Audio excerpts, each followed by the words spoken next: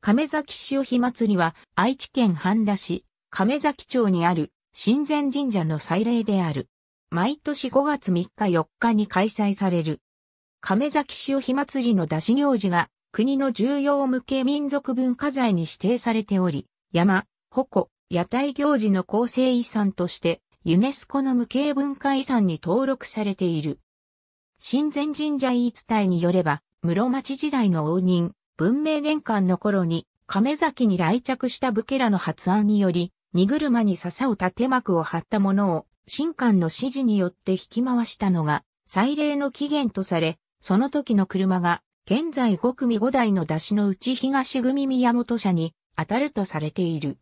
その後、再三の心臓、改造を経て、18世紀には、現在のようなチタ型と呼ばれる出しの形態になったとされている。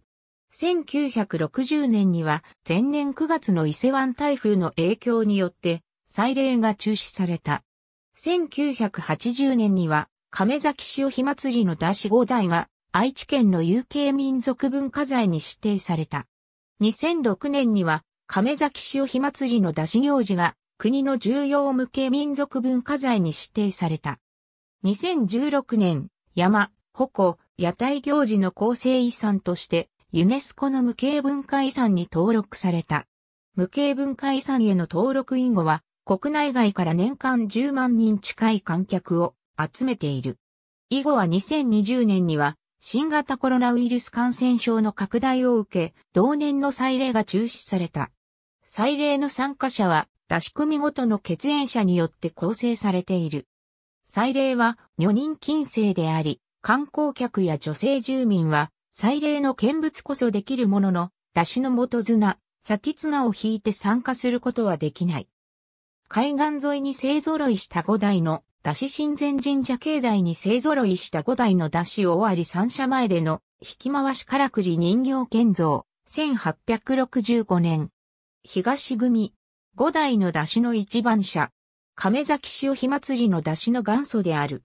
建造、1891年。石橋組。亀崎潮火祭りでは、他の4台の出汁が、症状費の大幕であるのに対し、唯一、混羅シャチの大幕を持ち、目を引く出汁である。建造、1826年。中切れ組。現在の5台の出汁の中では最も建造が古く、下型出汁の元祖である。建造、1837年。田中組。山からくりの傀儡師は、人形を操作する古い時代の傀儡師を表す、からくり人形であり、生きた化石とも言われ、演劇史研究の貴重な資料となっている。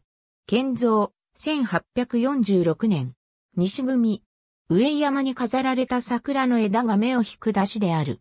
ありがとうございます。